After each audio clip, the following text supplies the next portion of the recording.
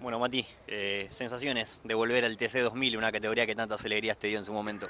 Eh, lindas sensaciones, hoy una previa bastante importante por parte de la categoría, recorriendo muchos lugares de la ciudad. Y en este caso, bueno, de invitado, ¿no? De Julián Santero. Esperemos hacer una buena carrera, venimos de una buena prueba en Córdoba y bueno, sobre todo tratar de ayudarlo a Julián, al equipo que está también en una buena posición del campeonato, peleándolo, así que esta carrera por los puntos que da y, la distancia en la, que, en la que está ubicada en el campeonato da, va a dar un quiebre para, para bien o para mal, así que esperemos aprovechar la carrera, poder funcionar bien y poder sumar buenos puntos y el objetivo, por supuesto, final que tenemos es poder ganar la carrera. Una edición en la que los invitados tienen mucha importancia, porque más allá de que obviamente la clasificación es suma de tiempos, pero el sprint lo corren ustedes y eso define la largada del domingo.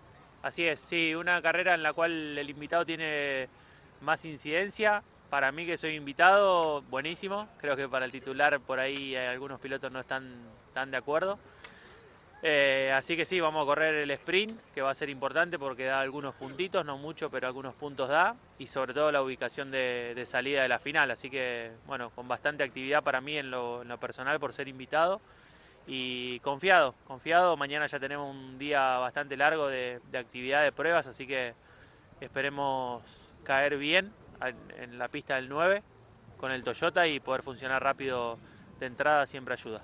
Te tocó un poco el, el estocar el pasado fin de semana. ¿Buenos resultados? ¿Te mantienes expectante en el campeonato? Sí, muy bien. La verdad que fue una buena carrera. Terminamos puesto 6 y puesto 2. Sumamos buenos puntos para el torneo.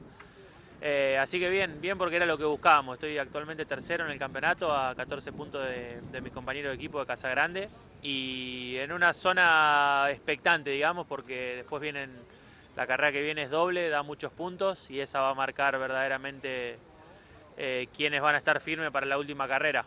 Así que contento, ha sido una gran temporada en Brasil, viene siendo muy bueno y espero poder aprovechar las últimas carreras para llegar con, con las chances que tengo ahora a la última en la definición. Muchas gracias Matías y la seguimos en el autódromo mañana. Gracias a usted, un abrazo.